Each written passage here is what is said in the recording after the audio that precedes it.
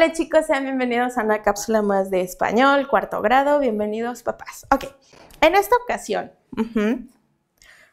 vamos a ver lo que es la literatura. Quiero darte el concepto de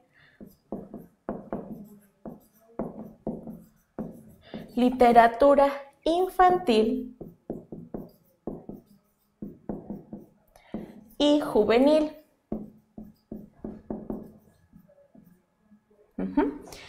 ¿Te acuerdas que en la cápsula anterior te conté el cuento precisamente de Hansel y Gretel? Bueno, ¿por qué crees que lo hice? ¿Por qué crees que te dije la definición también de cuento? A ver, piénsale, piénsale. Así es, porque los cuentos son parte de la literatura infantil. Entonces, Hansel y Gretel es uno de ellos. De hecho, eh, los autores, porque son dos, son los hermanos Grimm. Ajá, hermanos, fíjate bien, dije hermanos. Ellos se dedicaban precisamente a ir a diferentes lugares, a diferentes poblados, haz de cuenta, para escuchar las historias que las personas mayores tenían. Y ellos empezaron a escuchar y empezaron a hacer precisamente sus cuentos, sus narraciones. Precisamente por eso te conté el de Hansel y Gretel, ¿ok? Bueno, vamos a empezar a definir qué es la literatura infantil, mis niños. ¿Qué crees que es? Bueno, aunque tú no lo creas, la literatura infantil es precisamente textos para los pequeños y los no tan pequeños, los infantes y los jóvenes. Por ejemplo, hay un libro, uno de mis libros favoritos, que me, me fascina mucho, es el diario de Ana Frank. Y es bien interesante, mis niños, porque habla precisamente de un adolescente lo que vive encerrada ajá, en pleno holocausto. Es decir, la persecución que en algún momento los judíos tuvieron por los nazis. Eh, hace mucho tiempo. Te reto a que lo investigues. ¿Por qué lo saco? Porque nosotros ahorita, por ejemplo, estamos en cuarentena. ¿Sale? Tenemos que estar pues lo más guardadito posible. Pero incluso los adultos podemos salir para comprar algún alimento, eh, alguna necesidad que tengamos básica. Pero ella no. Ella, Ana Frank, estuvo escondida en una casa con más personas, pero no creas que en toda la casa. No, no, no. Eran ciertas habitaciones que estaban asignadas para dos familias, la de Ana Frank, compuesta por cuatro integrantes, y otras personas. Más o menos como ocho. No tengo ahorita bien el dato, no lo recuerdo exactamente, pero eran como ocho personas. Imagínate estar en ¿Qué te gusta? Acuérdate de los salones de la escuela.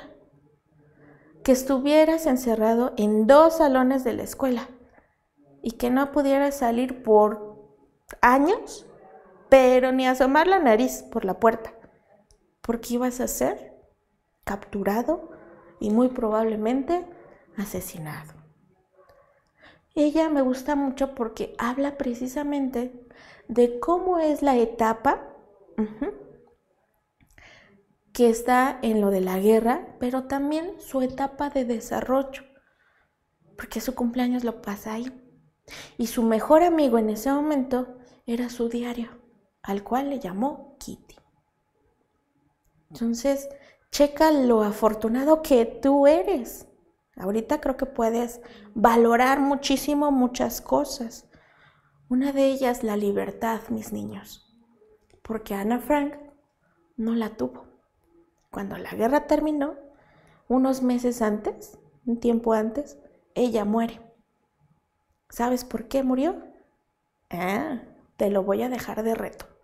Entonces, aquí tenemos un libro, literatura, Ana Frank, autor, Ana Frank. ¿Te acuerdas que te decía que tiene un origen, un año, un país? Te reto a que busques la información de ese libro.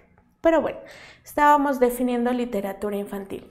Entonces, es un conjunto de textos literarios que la sociedad se puso de acuerdo para poder precisamente mm, decir, este material es apto para el público infantil y juvenil, ¿ok? Y como estamos hablando precisamente de apto, hay algunos materiales que fueron escritos, por decirlo de alguna manera, para adultos y fueron adecuados para los niños. Por ejemplo, los viajes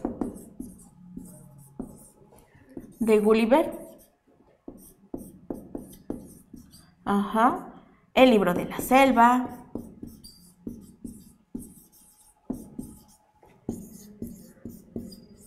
O Platero y yo. Por ejemplo, ese de Platero y yo está muy padre porque habla de un burrito, ¿ok? Bueno, dentro de la literatura, mis niños, hay géneros. Los libros ilustrados, eh, tebeos, así se llama, tebeos, historietas o cómics, también los tradicionales, como por ejemplo los mitos, las leyendas, las fábulas, las adaptaciones, los populares que tienden a ser un poco más accesibles, la ficción, los de ciencia ficción, biografía, autobiografía, poesía y verso, y también el teatro infantil. ¿Cuál es el objetivo de esta, bueno, de esta temática o de la literatura? Bueno, cuatro. Uno, incrementar tu creatividad, tu curiosidad, Ajá, la imaginación, que tú reconozcas lo gráfico verbal, es decir, a lo mejor cómo se escribe una palabra. Eh, la ampliación del léxico, es decir, que tú tengas eh, una plática fluida, que utilices diferentes palabras. Otra es fomentar el gusto por la lectura y es muy padre el que tengas ese hábito. ¿Y cuál es la función? Este tiene dos funciones. Una, transmitir valores, que desafortunadamente pareciera que se están perdiendo. Y dos, transmitir la cultura. ¿Ok? Pues bueno, espero que esta información te haya servido con referente a qué es la literatura infantil y juvenil. ¿Sale mis niños? Pues bueno, cuídate mucho. Recuerda que te quiero mucho. Échale muchas ganas. Adiós.